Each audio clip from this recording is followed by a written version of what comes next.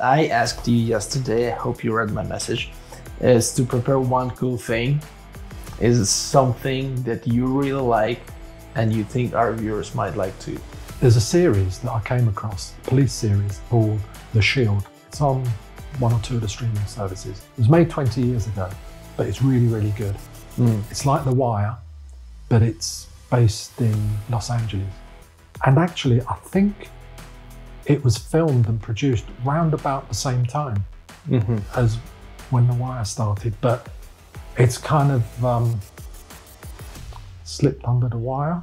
That's a pun. Yeah. Nice. So I don't definitely not as many people know about the Shield as people who know about the Wire, but it's, it's a really good series.